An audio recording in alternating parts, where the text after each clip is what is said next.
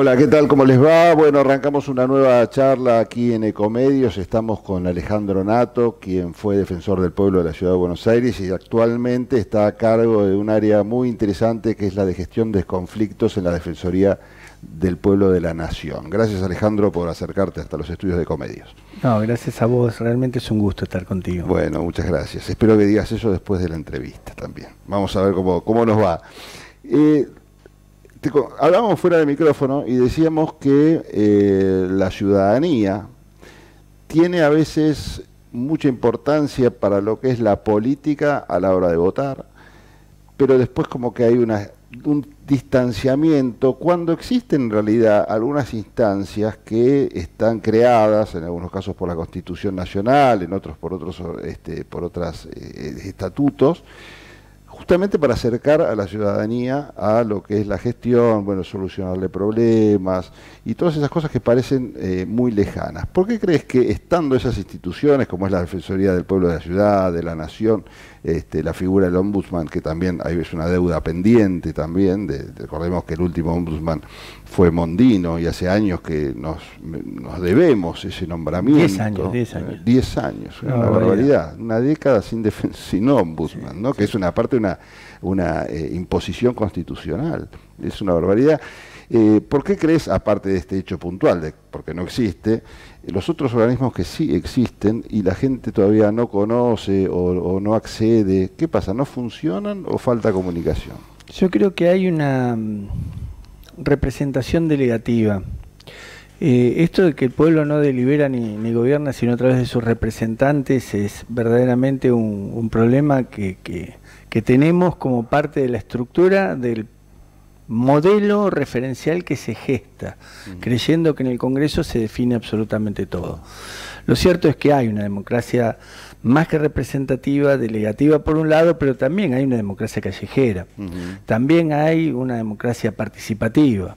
Y dentro de la democracia participativa hay mecanismos de participación que están previstos constitucionalmente, como bien decís vos, pero a su vez tienen algún tipo de, mm, de, mm, mala prensa por parte de la sociedad o, o, animadversión en cuanto a la posibilidad de funcionamiento mm. eficaz de eso que eh, ya sea el plebiscito, el referéndum, eh, las audiencias públicas, y uno ve que todo esto forma parte de un paquete de posibilidades que tienen que ver directamente con la participación ciudadana. Ahora, quiénes participan y desde cuándo se participa y cómo se participa. Yo creo que todos nosotros los que tenemos años de haber eh, pasado por la dictadura hemos recuperado la democracia con un fervor enorme y un grado de, algarabía, de, ganas de participar muy fuerte. Y eso fue increyendo a medida que fue incrementándose las posibilidades de participación ciudadana que nos dio la democracia. Pero lo cierto es que a medida que fue pasando el tiempo, eh, los, que, los que llegaron al poder se fueron se fueron apropiando de las grandes decisiones y delegando poco en la ciudadanía la posibilidad de consulta, o delegando poco en la ciudadanía la posibilidad de esto del ida y vuelta, del feedback necesario para la construcción de políticas públicas. Y, un país presidencialista, como todos los países presidencialistas de América Latina, tienen estas características, donde el poder se concentra mucho. Sí, abren poco la discusión. Y donde todas las reglas de juego te las imponen desde la lógica del poder, y sobre todo del poder ejecutivo. Hemos tenido parte del de, eh, propio poder legislativo esperando que definiciones del poder ejecutivo para tomar algún tipo de medida, para legislar. Lo cierto es que... Eh, fue mermando la capacidad de, respuesta por parte de la ciudadanía en cuanto a la participación y hoy te diría que participa mucho menos la gente, participa los que tienen tiempo por un lado y los que forman parte de los lobbies o del interés concreto sobre algo determinado. Pero vos fíjate lo que pasa en las audiencias públicas, por ejemplo vos vas, participás, decís y después se toma la decisión que se quiere. Y es como que. Y esa sensación la percibe la gente. Y, la gente sabe incluso que no es obligatorio tomar en cuenta lo que se dijo allí, que es facultativo para el que, el que toma la decisión. Entonces, es, un paso administrativo más que un ámbito de participación. Sí, sin embargo, cuando vos ves el desarrollo que tuvieron, por ejemplo, que tuvo todo el tercer sector es casi inversamente proporcional a lo que vos estás describiendo, ¿no? Porque ahí sí hay este, participación, ahí sí la gente va con ganas, ahí sí la gente ve que funciona. ¿Por qué funciona? el tercer sector, porque hasta me parece, ¿sabes qué? El tercer sector, y, esto seguramente no va a caer muy bien en algunos sectores, justamente, me parece hasta peligroso, porque no tiene, no en todos los casos, ¿no? pero como, como idea de que la cosa pública sea manejada por eh, por ahí ciudadanos de buena fe, pero que no tienen idea justamente de en qué marco se toman ciertas decisiones o, atacan problemas puntuales sin, fijarse en las consecuencias que tienen en lo general, es, es peligroso, es desordenado, puede generar más caos que soluciones en muchos casos. Pero bueno, ante la falta de respuesta del Estado, uno recurre como ciudadano por ahí a esas organizaciones que son más eficientes. ¿Por qué se da eso? Vos fíjate que la sociedad civil se ha organizado la juventud volcó gran parte de su participación dentro de organizaciones de la sociedad civil, de este tercer sector al cual vos haces referencia, y esto ha tenido una canalización de demanda participativa muy fuerte. También tienen algún tipo de inconvenientes en cuanto al financiamiento, en cuanto a la posibilidad de concretar eh, capacidad organizativa en muchos casos. Tienen financiamientos escasos para poder llevar adelante tareas cíclopeas desde el punto de vista de, la idea y después, bueno, tenemos esto como para poder hacer esto que es más pequeño todavía De, lo, de, la idea inicial. Realmente esto también eh, está repercutiendo en la capacidad de... Complica. Claro, en la capacidad de convocatoria. Porque una cosa es una gran idea, la posibilidad de terciar entre la ciudadanía y eh, la incidencia que pueden generar en la toma de decisiones. Y cuando tienen que llevar adelante algún tipo de proyecto, se encuentran con que o no consiguen financiamiento, porque acá financiamiento internacional no hay, como hay en otros países, o el financiamiento es del Estado, y cuando el financiamiento del Estado, el Estado condiciona también. Sí, volvés otra vez. Y volvés a la misma dinámica. Entonces digo, y, ha cambiado la, forma de participar, mm. y yo concuerdo contigo de la importancia del tercer sector, pero también eh, convengamos que estos inconvenientes que son fácticos, que, los viven quienes, quienes conducen estas organizaciones, eh, promueven también la posibilidad de repensar modelos participativos para esta nueva etapa política. Porque vos fíjate, en la política partidaria, quizá uno dice no se participa, pero hoy un hombro con hombro virtual por una causa determinada, o un hombro con hombro circunstancial por una causa determinada, digo virtual porque a través de las redes también existe esto, ¿no? Causas que se promueven a través de las redes. Eh, tienen un peso específico muy concreto. Y, quizá el tema de, bueno, la causa de género, ni una menos, fue uno de los ejemplos más típicos de lo que implicó la mujer en la calle, la mujer en la participación, la mujer cambiando la matriz de movilización social de la Argentina, porque de hecho, del movimiento obrero, que eran los que posicionaban en masa a la gente de la calle, que eh, se encuentra en cuanto a lo que puede llegar a ser una situación comparativa con un millón de mujeres en la calle por una causa que tenía que ver con, lógicas de cuestiones de género. y, esto, eh, que son cuestiones de género, son cuestiones de todos. Más allá que a muchas mujeres les guste que participe solo la mujer para la causa de la mujer, son cuestiones de todos. Eh, es un tema cultural. Es un tema cultural y es un tema de construcción natural que tiene que también tener las, masculinidades, los hombres. Tenemos que, aprender cosas, desaprender para aprender. Y todo esto forma parte de un ida y vuelta, de, un relacionamiento que naturalmente se tiene que dar entre todos, no solo se tiene que dar desde un sector. Me parece muy bien que lidere un sector la causa específica de ese sector. Por otro lado, más allá que esto existe en los temas medioambientales, vemos que hasta los jóvenes, los chicos, mm. eh, tienen esto como un modelo, como una causa para poder llevar adelante. Como una prioridad en la agenda. Una prioridad en la agenda, está bueno. Y, yo creo que estos son cambios culturales que posibilitan este repensar el modo de participar.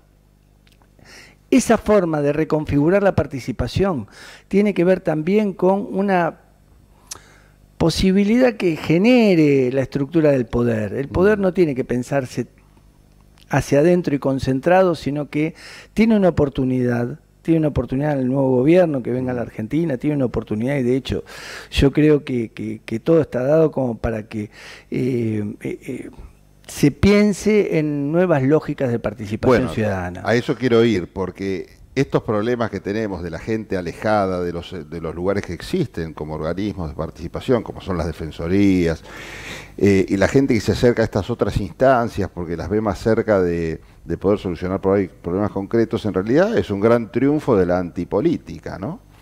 Yo diría que es un gran triunfo de los pesos y contrapesos de la democracia, que forman parte de la política. Y, no es para contradecir lo que vos decís, sino para, para, complementar. Para complementar.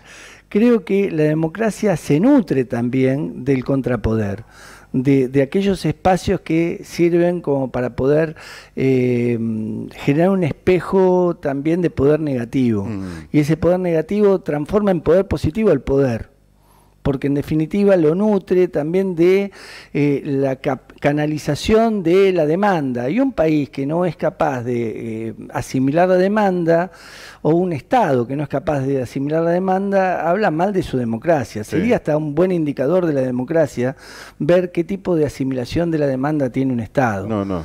y habla del Estado del Estado. Eh, por eso planteo que estos, estos mecanismos que generan los, las defensorías del pueblo, los organismos de control, eh, aquellos que reciben la demanda y la pueden canalizar para bien de, aquellos que no tienen otro espacio como para poder hacer valer un derecho, que no tienen otro ámbito como para poder acceder a su justicia, que también no necesariamente tienen que ir al Poder Judicial para acceder a la justicia. Eh, realmente les sirven como para poder eh, tener un oxígeno ciudadano y esto eh, esto es necesario. Sí, claro. Es necesario.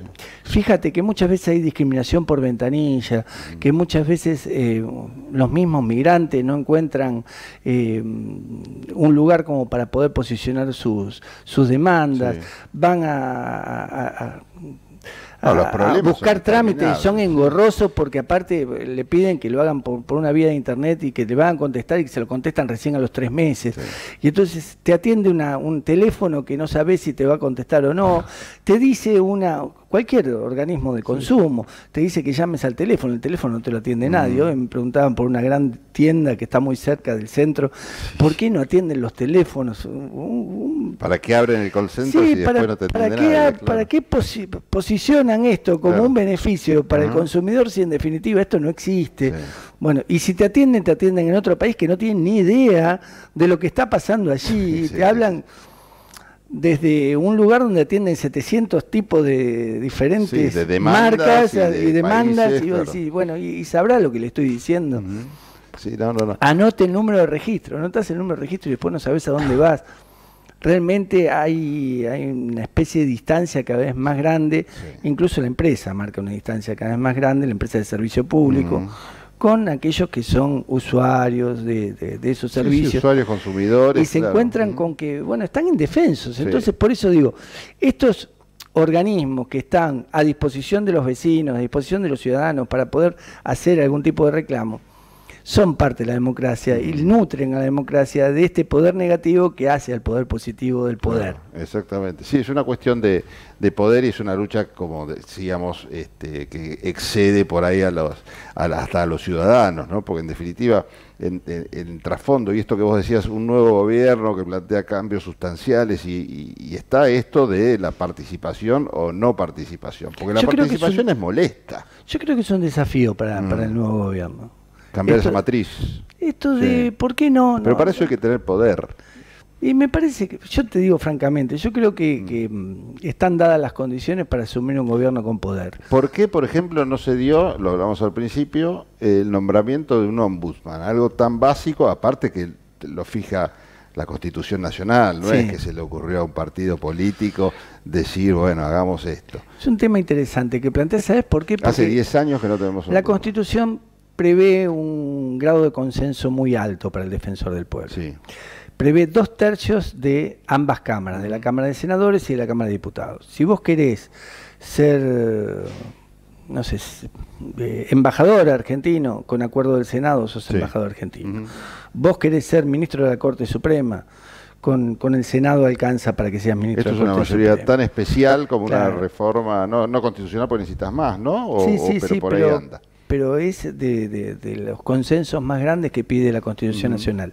Y la realidad política del país viene mostrando que es difícil llegar a estos consensos.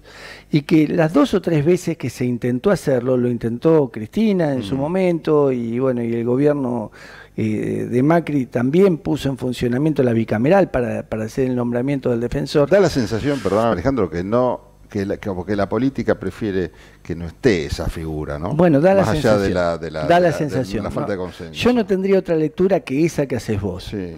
Eh, si fuera políticamente correcto. Es como una mosca que está diría, no, por ahí, es, eh, es, difícil elegir, mm. es políticamente correcto. Ahora, la realidad es que si en 10 años no pudieron, quiere decir que no quieren, no que no pueden. Entonces, ¿qué es lo que pasa que el defensor del pueblo no se puede nombrar? Esto es una barbaridad, esto es, un déficit de la democracia. Esto es una deuda que tiene el Congreso para con los argentinos. Eh, es un mandato constitucional. El artículo 86 de la Constitución instituyó la figura del defensor del pueblo y es un avance. Es un avance enorme que le costó mucho a los argentinos tener eh, un ombudsman institucionalizado, eh, lo mismo que algunas otras figuras que esta misma constitución del 94 ha incorporado, como los derechos indígenas. Claro, sí, todos los derechos de tercera generación. Pero no hay duda, ¿no? hay duda. Nuevos derechos. Esos nuevos derechos que están puestos allí están puestos también con una posibilidad de canalizar esas demandas a través del defensor del pueblo. Por eso la figura del defensor del pueblo. El defensor del pueblo eh, eh, capta la demanda y la canaliza por los canales correspondientes, entre otros la justicia. Claro, tiene esa capacidad de la legitimación procesal para ir a la justicia, iniciativa legislativa, la posibilidad de, hacer planteos ante ante el, al poder político. Lo que sí es cierto es que eh, es una figura que, llevado con la responsabilidad institucional necesaria, eh, es de sumo eh, interés, interés para todos los sectores de la vida pública. porque fíjate lo que pasó con el gas. Menos para, para los que molestan. Pero yo creo, yo creo que es un error pensar que uno molesta solamente mm. o que uno es una molestia o una piedra en el zapato. ¿Sabes por qué es un error? Mirado desde el poder es un error. Mm. Porque no es lo mismo que y pasó con el tema de la demanda del gas. La Corte salió a decir, bueno, miren, elijan un defensor, porque no puede haber demandas en todas las provincias presentadas ante diferentes jueces, con criterios distintos de cada uno de los jueces para con este tipo de reclamos, cuando en verdad se podría llevar todo esto a la Defensoría del Pueblo. Y el defensor del pueblo llevar una sola presentación que lo termina resolviendo todo. y a su vez, el que asimila la demanda es el defensor del pueblo, no son todos los mecanismos jurisdiccionales de la República Argentina. También te pueden decir que en el momento especial que vive la Argentina, de una situación bastante complicada, bueno, hasta sería políticamente este, poco estratégico mencionar a una figura que en todo caso salga a defender los derechos cuando, bueno, hay que hacer este, un montón de esfuerzos que seguramente hasta violan alguna suerte pero de, hecho la Defensoría existe. De hecho hay una Defensoría del Pueblo que está llevada adelante por, por los funcionarios y los empleados con una idoneidad mm. enorme porque llevan desde el principio de, de, la institución hasta ahora trabajando de eh, las causas que se reclaman. Eh, vos en una Defensoría del Pueblo tenés determinado tipo de casos, determinado tipo de temas y determinado tipo de políticas públicas. Entonces vos con los casos, los temas y las políticas públicas, según la capacidad de poder que tengas, vas a poder obrar. Posiblemente en políticas públicas propiamente dicho, la falta del defensor es, una, es un déficit enorme para la institución, pero en los casos y en los temas la institución sigue funcionando. Entonces, una institución que está, que solo le falta poner la cabeza, no es, no es óbice como para que el, poder político, y cuando hablo de poder político hablo de los tres poderes, hay una Corte Suprema que está exigiendo el nombramiento del defensor. Hay eh, otras instancias jurisdiccionales que han dicho al Congreso tienen que nombrar al defensor. El Congreso no lo nombra todavía. es una barbaridad institucional. Y realmente sí, es una barbaridad institucional. Yo entiendo que el consenso requiere una discusión mm. muy amplia. Y entiendo también que ponerse de acuerdo todos en una figura unipersonal es muy complicado, mm. pero tienen que hacer un esfuerzo. La Argentina lo merece. ¿eh? Vos, hablas de un nuevo gobierno y con esto ya este, te voy a, ir despidiendo.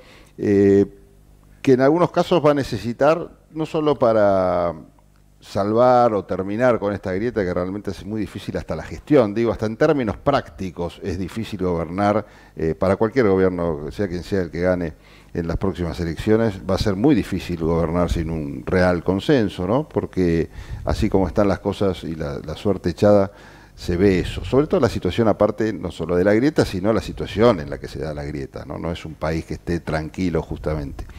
Y sin embargo, hemos escuchado en más de un discurso, de, sobre todo de la fuerza política que más posibilidades tiene de, ganar en las próximas elecciones, de abrir el juego sobre todo en los organismos de control. Y acá yo no me refiero tanto por ahí a, las defensorías, sino a lo que tienen que ver las auditorías, las oficinas que tienen que ver con anticorrupción, porque también esto es una señal, no solo hacia adentro, sino hacia afuera, de que el país se normaliza un poco. ¿no? ¿Cómo lo ves esto? Sí, a mí me parece que dentro de los desafíos, una de las posibilidades enormes que tiene este gobierno, porque va a llegar con este gobierno que va seguramente a acceder al poder, porque va a llegar con mucho consenso, es eh, definir políticamente eh, cómo darle vida institucional a estos mecanismos de control que existen y que verdaderamente no se los ven en su esplendor. Salvo algunos la auditoría, no, la auditoría general de la nación funciona y de hecho tiene, tiene un rol, tiene una impronta distinta, tiene una impronta distinta a, los demás organismos.